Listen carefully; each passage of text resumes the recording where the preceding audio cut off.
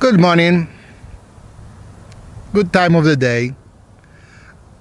I continue my video monologue, video blog today from Pine Valley, Arizona.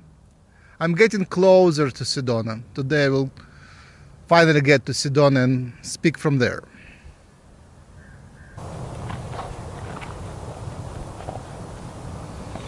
As you can see, I escaped from the heat of the desert and now I'm in the mountains um, near Sedona and the energies are way greater here, way wonderful, way more wonderful.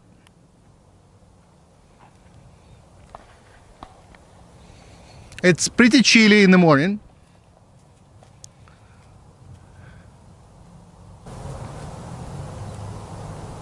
The forecast says it will be pretty warm during the day. So if you come for our workshop in February, bring warm clothes.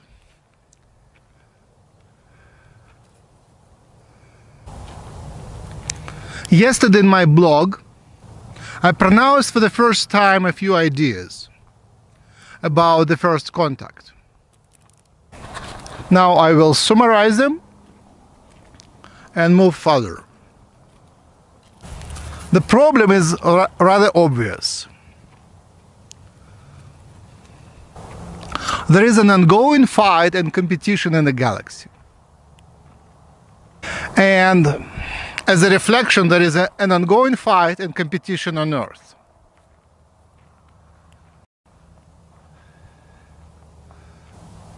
The galaxy is separated into fighting factions and alliances and so does Earth. If aliens come here by invitations from our governments, it is very likely that competing governments will align with competing aliens. Say one country will invite Orions, another country will invite Pleiadians, third country will invite reptilians, fourth country will, will, will, will invite draconians. And we'll have the competition and fight here. And I'm afraid this might not be very pretty if that happens. As I understand, the aliens have the rule that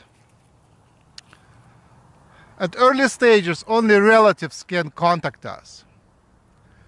But since we are the descendants of over 20 races of aliens, still there is a lot of aliens that can contact us and can come down and come into contact.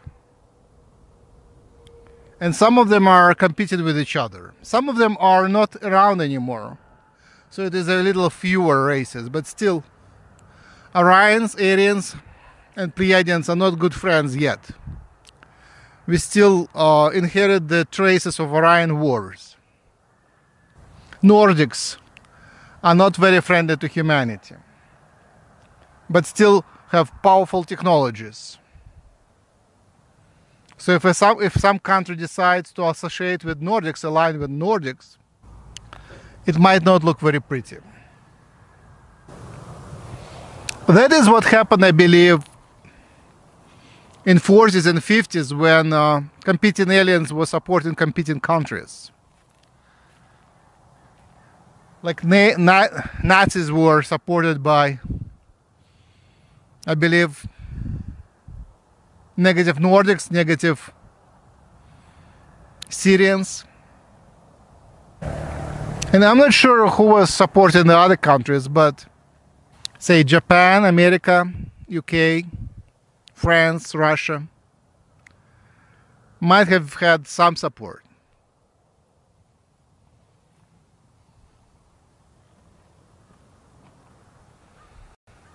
So we don't want to repeat that. As I understand now, the solar system is under control of a coherent, more or less coherent alliance of friendly aliens, which is great. So on alien side, they are more or less united. Galactic Federation of Light, Ashtar Command, Girk Fitneer, Blue Sphere Alliance, and I suspect many others which are not very well named. We hear about huge motherships from all over the place, including Andromedans. On Earth, we have even worse problem. There is separation horizontal and vertical, meaning horizontally the, the countries are separated from each other by language, borders, religions, cultures. And vertically within the country there is a lot of separation between strata, layers, classes, castes, castes.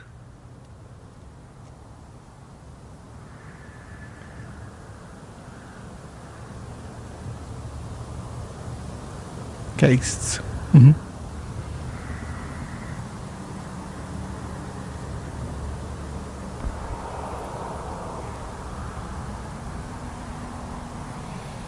Income education. So we have two scenarios. The first one, each country invites a competing alien alliance. And the competition from the galaxy is transferred transferred to the Earth. Transplanted to the Earth and we'll have a, the Earth split and competing. The second scenario is United Aliens meet with United governments like United Nations or some other council of governments. United Nations is unlikely because by design it is very dysfunctional. And I like the idea of governments representing the humanity not very much either. Look at your government and see whether it, it represents the interests of the of the of the country. As well, I you know similarly, I don't think the the Council of Earth governments would uh, be adequate in representing the Earth. Formally, it would be acceptable because the governments are the governments. They are sometimes elected, sometimes they are legally installed, or they install themselves and then make it legal. And the Council of Competing Governments would be pretty much dysfunctional and might be dominated by what is now called cabal, financial and um, military alliance of not so of negative forces on earth. So for this reason i understand the hesitant why, why the aliens are hesitant the hesitation of the aliens to to initiate the, the first contact. We are not ready. They might be ready but the earth is not ready.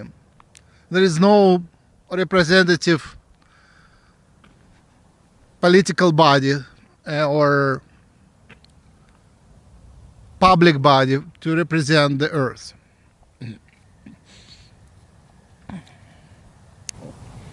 There are a few nice individuals, but they are not representatives yet.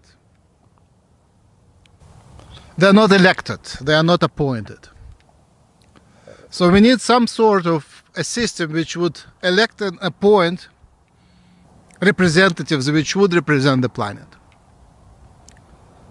The politicians are okay, I guess, they are legally suitable, but are not very suitable in terms of practical representation. They don't, their interests are far from the interest of the planet. I guess the fathers from the interest of the planet. Religious leaders have the same problem. I mean, I, I believe there is many spiritual people among religious um, leaders, but when they come together, the, there would be a, lot of disagreement. I'm afraid, possibly. I'm not sure. I guess they would be better than politicians. Might be. Same, I would say, about political parties. Leaders of political parties are not too cooperative to each other. And I'm, I'm not sure what other, if there are any other good political or, social, or public organizations which would represent the planet. There is a tiny layers of tiny layer of ufologists. They come together, so that culture I think is uh, is interesting. Um, some of them want first contact. Some of them are more about the conspiracy theories and about negative aliens. But I think this is uh, maybe the basis for the formation of this public organization which would uh, be developing the the medium where the representatives can be elected. At least these are these are people who think beyond the planet, think beyond the country, beyond the planet, think uh, galactically, universally. Light workers are least organized. There are gatherings, there are public speakers, um, there are people pop, pop, popular on YouTube. So there is a medium, there is a, a layer, a stratum of people who are thinking universally, galactically, and who are nice and genuinely care about the planet. So traditionally we are light workers, we are separated from the public and public is unaware of us. We are separate, we have separate language, separate clothing, separate behavior, separate food, separate interests and we are not very good about organizing in parties and uh, getting public support. So if there is an election of representatives, we would not be even considered. If aliens would pick us, then yes, they would speak to us most likely, but the Earthens are not aware of us. So there is an, a problem and a, an opportunity. So what I would like to see is that nice people genuinely interested, concerned about the future of the planet, about the future of humanity, would be involved in the first contact and in the contacts following the first contact.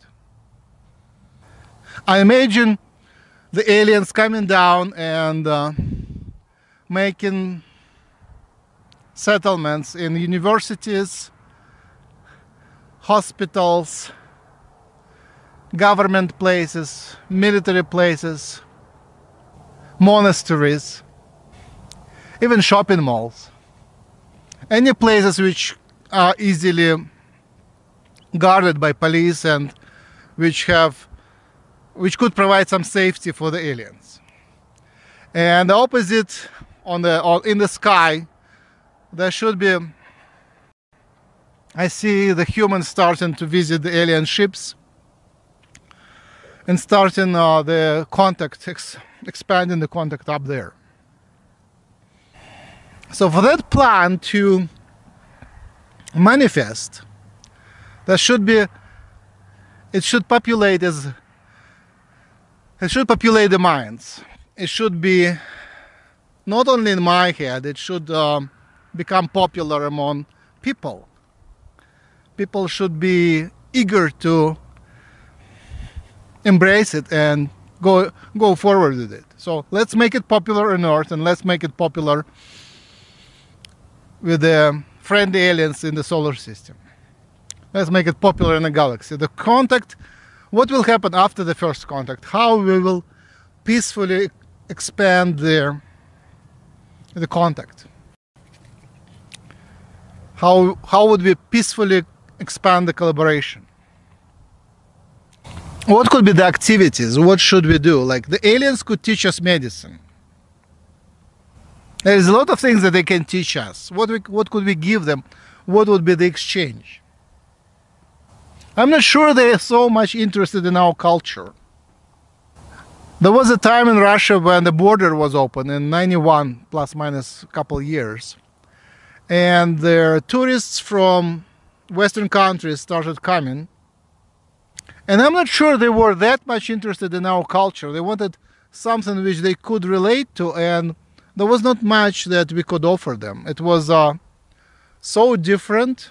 They couldn't uh, they couldn't pass through the language barrier and if, if they had good interpreters, they couldn't understand what's so good about Russian culture. It was a culture of underground resistance. Russian culture, Russian Soviet culture was a culture of underground resistance, plus, of course, a lame official culture. And neither one worked well for the Westerns, which grew up in much more liberal, free world and didn't relate much to underground and didn't relate much to lame official culture. They wanted something in between, and Russia didn't have anything in between. It was two opposites. And now imagine the aliens coming here. They expect harmony, beauty, and Again, they made the same thing, underground culture and lame official culture. I guess we can play Beatles for them. Uh, I don't know who is popular now. I'm still stuck at Beatles. I don't think Manish Vyas, I guess. I like Manish Vyas. Krishna Das, yeah. I'm not sure that they are much interested in our movies especially the movies about aliens. I think that could be uninteresting to them. So I'm not sure they're so much interested in our culture. Some of them might be interested in sex. But what they are really interested in is uh, hybridization with us and creating a new species which would be appropriate for living on Earth and where they could incarnate. That is the major agenda for most of the alien cultures. They want to play our game, but they wanted to play their way. Let me just repeat. They want to incarnate here, play on our territory, but they want to play it in a higher level, in their way. And of course, they, they really care about the humanity graduating. Yeah, many of them are really into ascension. So the aliens would come here and how do they say roll the sleeves and really want us to, to help us with ascension. All right here we come let's ascend. Here we come let's ascend. So ascension programs. And ascension programs i think is about spirituality about meditating. So the aliens will come say and now let's meditate and let's meditate together, make circles. So a lot of things which will they, they will do is what we are doing now, making circles and meditate. And that's what we are going to do in Sedona. We will make circles, meditate, make circles, chant mantras, um, teach spirituality, download spirituality, do Reiki healing, energy healing, so I think when the aliens come, that would be about the same. It would be about telepathy. Yeah, the telepathy class. They will be eager to teach us telepathy and link with us telepathically. Yeah. They would be eager to link with us telepathically, and uh, for them, it would be a learning experience, and uh, of course, it would be for us. So let's discuss that. What I'm missing is an intelligent discussion where I can contribute and I can speak to others about things that matter for me.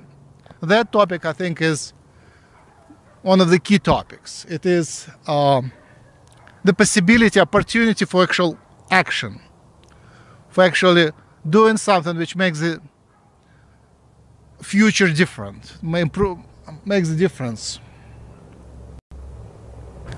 We had some meaningful discussions in the past And they faded. Um, I would say something changed in the environment.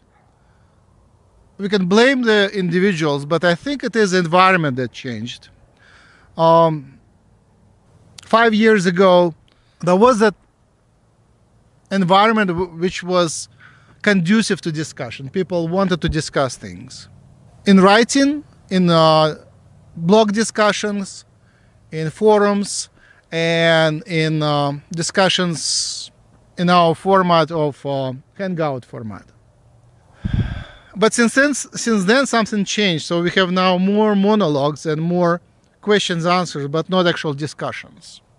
And um, there was some discussions on Hucolo website. It was humancolony.org that site at that time.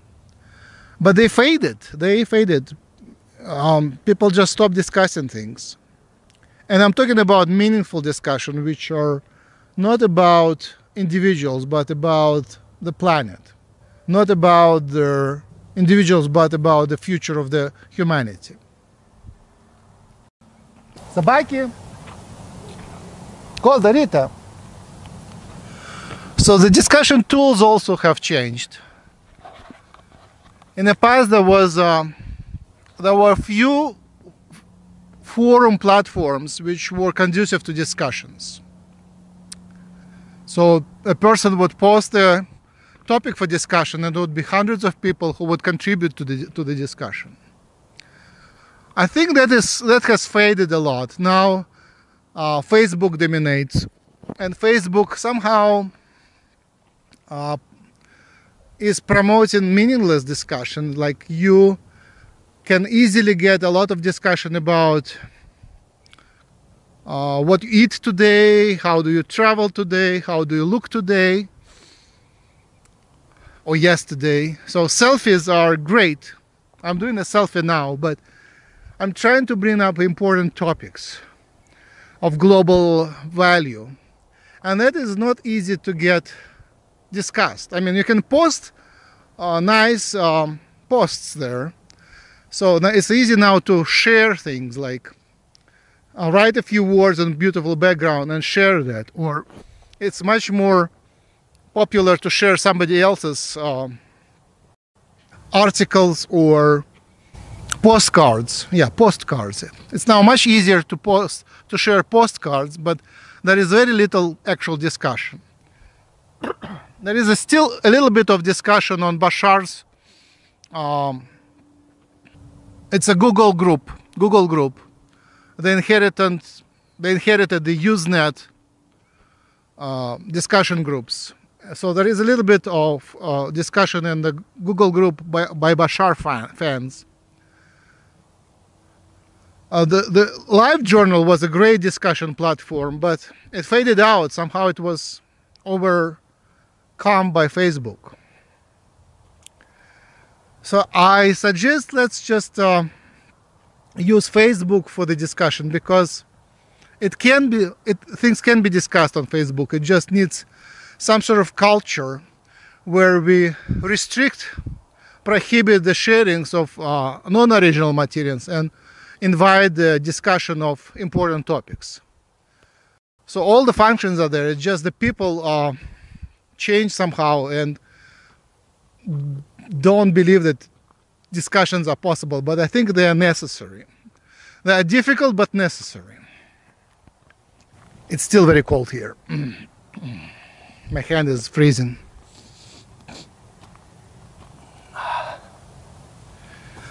So most uh, popular and uh, has have most impact. I think Steven Greer has still very big impact on uh, on the society.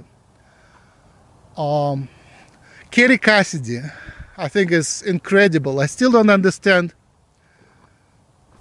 the business model of Kerry Cassidy. So it all comes to business models. Like until uh, recently, maybe a few years ago, there was uh, a lot of volunteers who wanted to work with us with Human Colony, and um, we did some projects with volunteers. And I'm finishing the book, which was transcribed by volunteers. So it's it's still working, but I think there one of the key factors was that um, there was some disillusionment. We, we were uh, inspired by the idea that aliens would come and physically take us. We wanted to visit the ships. And that was driving the, the volunteers was driving a lot of activity in Hucolo. But that just doesn't happen. It doesn't seem to be very near. You know, eventually it might happen, but it might happen to our grandchildren. I don't know. I don't see that coming yet. It would be nice though. So, uh, and the, the, economic crash, which was predicted, it didn't happen yet, and it looks like we ended up in a branch of the timeline which uh, has economy, economic crash kind of delayed. It's still coming, but not very soon. So, in practical planning, it looks like we still have to deal with money. That was my conclusion and uh, starting from uh, the spring this year, half a year ago, I started the commercialization of Hucolo. And uh, we developed some of commercial activities. So we have a little bit of money coming through Hucolo, just a little bit. It is about just little less than $300 a month. Um, it is not enough to pay salary to anyone, but at least there is a structure which allows to to do some of the activities um, paid. So uh, we pay to our webmasters, webmaster Slava, a little bit, and um, for video editing and uh, video hosting of the webinars, we have a little bit of compensation. It is little money. It was uh, $15 initially. Now I think we, we, we pay I know we pay $35 for the for the hosting and we invite more uh, helpers now for money so we hire we keep hiring. It's not full-time job it's occasional help but we are uh, we you know it seems to be working and we invite more of that. And I invite more video editing so this this needs to be edited. I keep I make pauses and that needs to be cut out. So looking at uh, commercial business models where light workers can uh, promote the ideas and unite with each other. So obviously there is a, I don't know, it might be not obvious for you, but it is there. There is a, there are ongoing, a system of ongoing conferences um, paid retreats and um, seminars with multiple lightworker speakers. And you see some of them on YouTube recorded. And a lot of it is advertised, and these gatherings happen everywhere. Among most uh, popular places are places in California, in Los Angeles, and near Los Angeles and San Diego. It's called Joshua Tree Park. So I see that, and sometimes it's really expensive for people, and sometimes it's affordable. It's between $40 to participate to about unlimited, $1,000 to participate. So this is great. And this happened all over the place. So Bashar travels, and you can see Bashar advertisements. He goes around big cities and uh, collects very good crowds. So this is um, a show business, yes. So this is a model of the show business. I wish to get there, I wish Jim to get there, but I guess with my energy and accent, I'm not very good uh, showman yet. Maybe someday, some lifetime. Maybe when I have uh, more important things to say, or more novel things to say, or maybe when the public is more ready to what I'm saying. So that is one model, show business. I guess show business, local show business. You can speak locally and meet face to face, physically in the same uh, location to with the people. And that's what we started doing in Hucolo. So our retreats first, not retreats, workshops. First workshop, which was in August, and next one coming in Sedona, uh, of that kind. We do show business and uh, classes and teaching. There is less of performance and more of the work we actually do work in the class and we do the ascension work working with the vortices.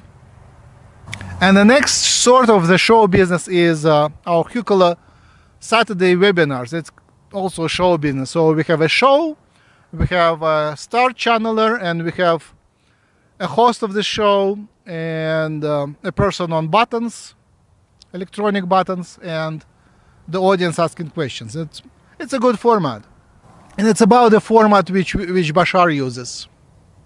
So we just took the Bashar's format and expanded it to Hucolo, adopted it at Hucolo.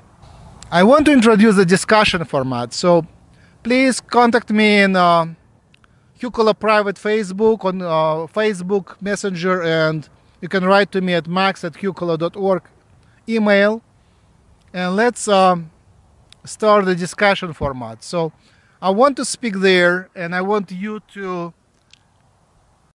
contribute in an intelligent way. So I invite experts.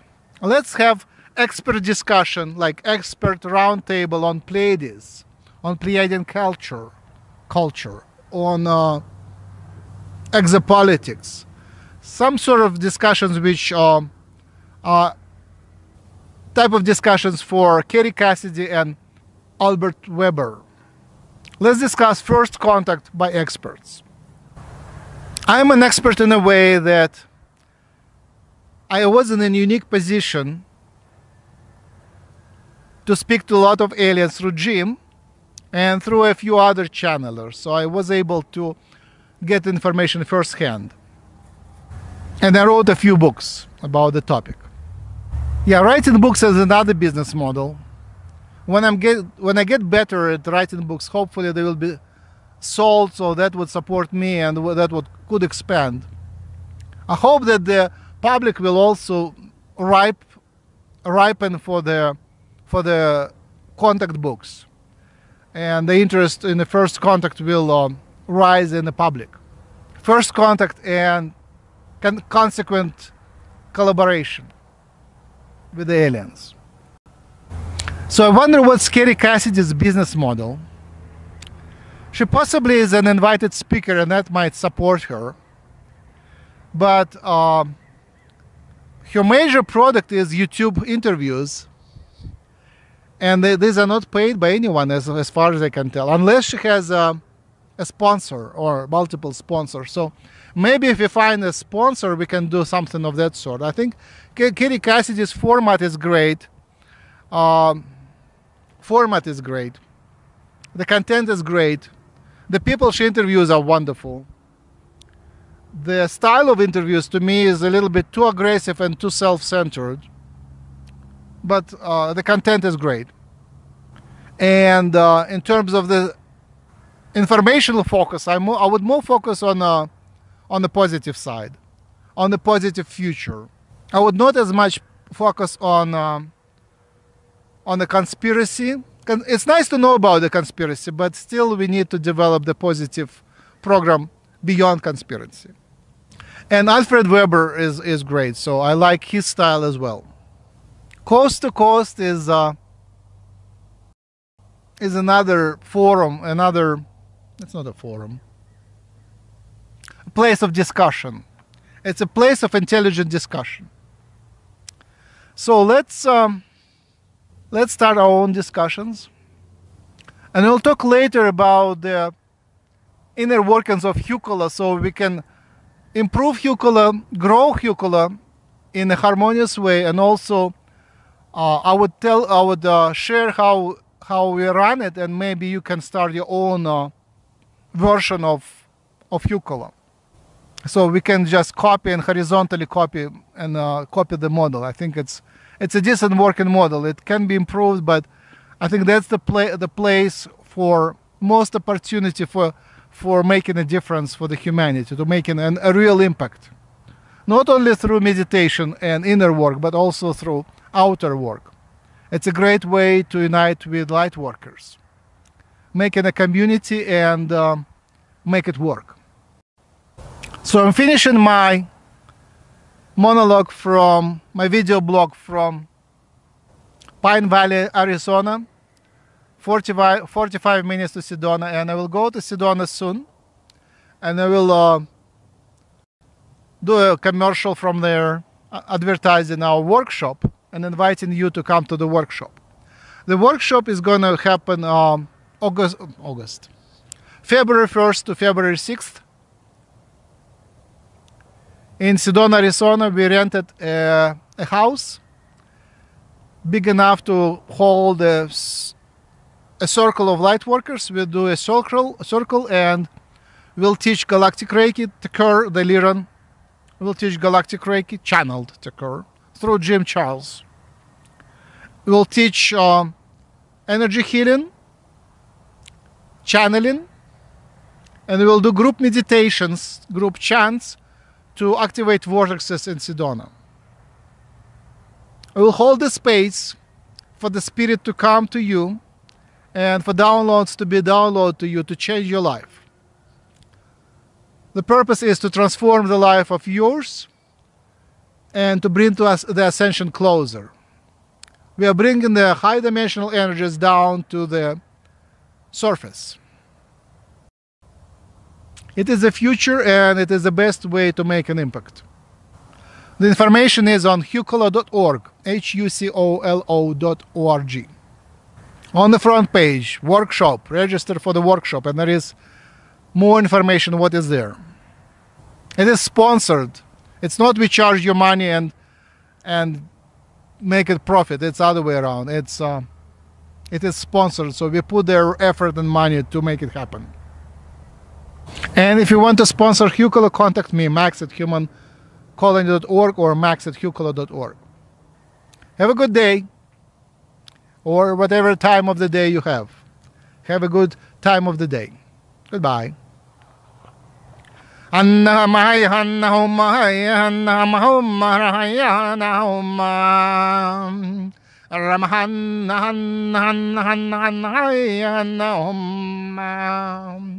Anna mahai hanna homma hai hanna mahomma rahaya na homma Ramahanna hanna hanna hanna hanna hai hanna homma Rahamma hanna homma Oy mama mama mama mama mama mama mama mama mama mama homma